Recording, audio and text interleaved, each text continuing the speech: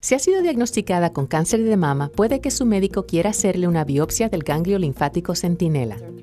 En cualquier cáncer hay tres razones para examinar los ganglios linfáticos. Para el cáncer de mama, la primera razón es para tapificar al paciente adecuadamente y pronosticar supervivencia y resultados. La segunda, para determinar tratamiento basado en la etapa del paciente. Y la tercera, para remover células cancerosas y disminuir la cantidad de tumor, físicamente extirpando los ganglios linfáticos que puedan contener células tumorales. Nuestro cuerpo contiene dos sistemas para el transporte de flujos, el circulatorio y el linfático. El sistema circulatorio transporta la sangre. El linfático está compuesto por vasos linfáticos y ganglios o nódulos linfáticos que asemejan a un ramillete de uvas. El sistema linfático transporta la linfa, un flujo incoloro y linfocitos, las células especializadas del sistema inmunológico. Como pequeños riachuelos uniéndose a crear un río, pequeños ductos linfáticos se unen a vasos linfáticos más grandes que desaguan en el torrente sanguíneo. El sistema linfático sirve muchos propósitos, incluyendo la filtración de objetos extraños como bacterias, transporte de flujo y el inicio de la respuesta inmunológica.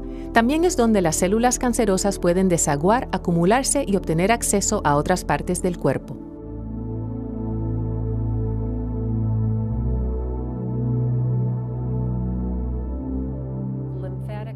El flujo linfático baña la mama y drena a través de los canales linfáticos tal como los ríos desaguan en cuerpos de agua más grandes. Estos canales drenan en uno, dos, tres o cuatro ganglios linfáticos y con ciertas técnicas de colorantes podemos identificar los ganglios linfáticos de drenaje importante.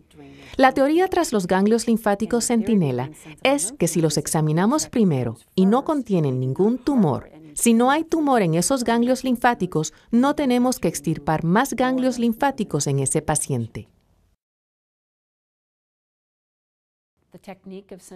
La técnica de mapeo de ganglio linfático centinela implica la inyección de un colorante.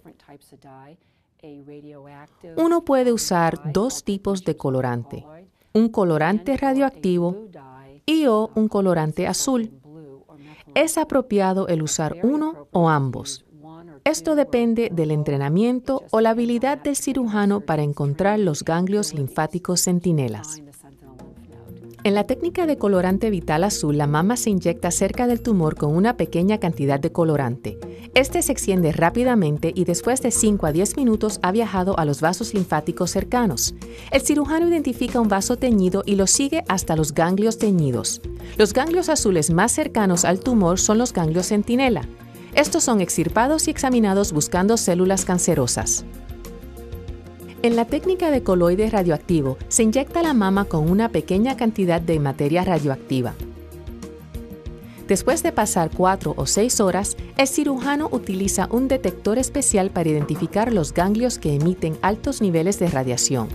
Estos ganglios con altos niveles de radiación son los ganglios calientes.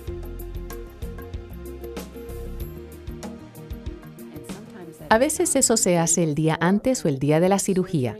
El paciente tendría que venir el día antes para tal vez obtener esa inyección, la cual sería inyectada alrededor del tumor o del pezón.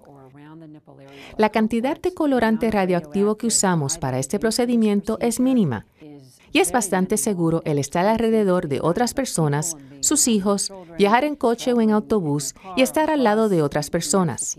Es similar a la cantidad utilizada en un scan óseo.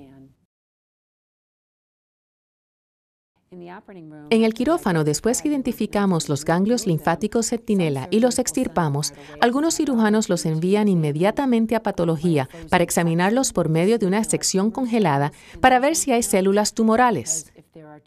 Si hay células tumorales, entonces algunos cirujanos ese mismo día llevarán a cabo una disección completa de los ganglios linfáticos axilares para determinar si hay otros ganglios linfáticos afectados en ese paciente. Los efectos secundarios de una biopsia de ganglio linfático centinela generalmente se limitan a sensibilidad en el área operada que desaparece con el tiempo. Otros efectos secundarios más serios incluyen entumecimiento, limitación en el rango de movimiento, infección y linfedema. Estos no son comunes, pero pueden ocurrir y tener consecuencias a largo plazo.